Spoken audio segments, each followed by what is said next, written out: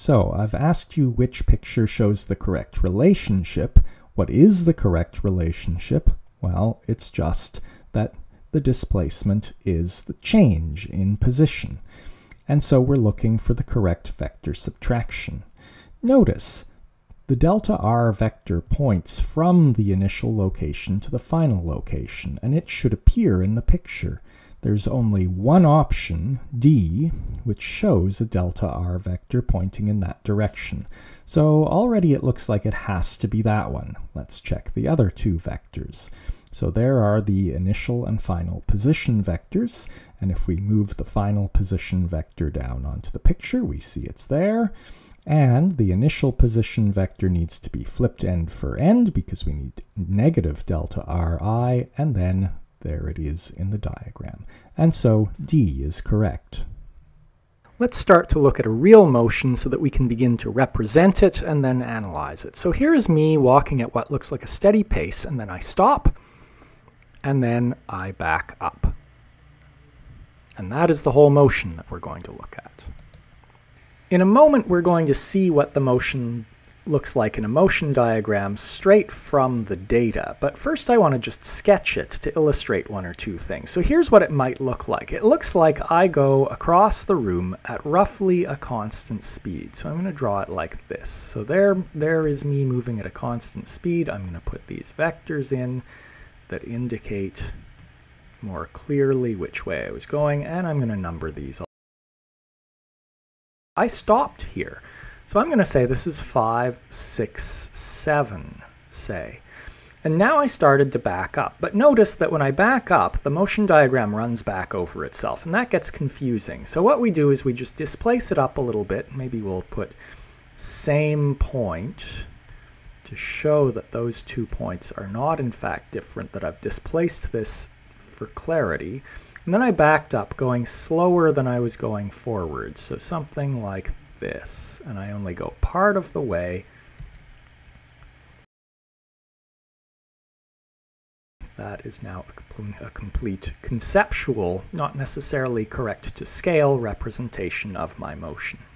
Now that we've got those ideas of how to draw a motion diagram like this, let's see the real deal. I've taken every 10th frame out of a portion of the middle of the video, and I'm going to use the middle of my head as the marker of where I am, and I'll construct the motion diagram above the frames as I show them. So you see, I go across the room at roughly constant speed. I slow down a little bit, and then at the very end, of course, I slow down to stop. And then I stay there, uninterestingly, for a few frames, which we'll mostly skip, and then I start back. And I do move more slowly going back, and I don't quite maintain a constant speed, but it's pretty close. And there we go, and it's pretty similar to what I had sketched. To determine my position at any time in the video, we're going to have to do a few things. Of course, we need a reference point, an origin, to measure our positions from. So I'm going to set up some axes. Here are some axes, but we can put the origin anywhere we want. A convenient place to measure from would be the edge of the picture. So I'm going to put my origin there. We also need a way to convert distances in the video frame to distances in real life. Well, I know my height. My height is about 183 centimeters. So here is a stick that I've made that matches my height in the picture, and so that gives us a scale. It'll be different on your computer, but on my screen I can now measure distances and I can see that this stick corresponds to 11.3 centimeters. So in other words, any distance I measure on my screen, I can now convert because 11.3 centimeters corresponds to 1.83 meters.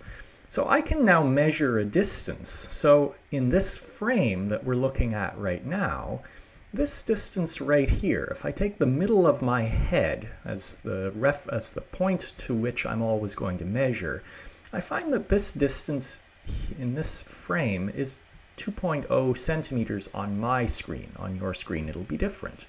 And so I can now get my position here just by doing a conversion.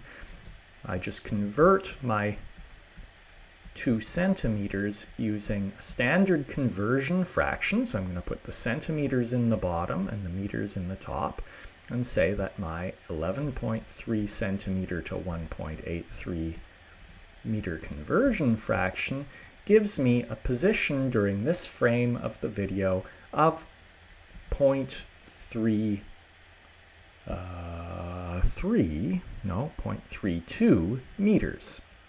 And I'm keeping two sig figs because this measurement only had two sig figs.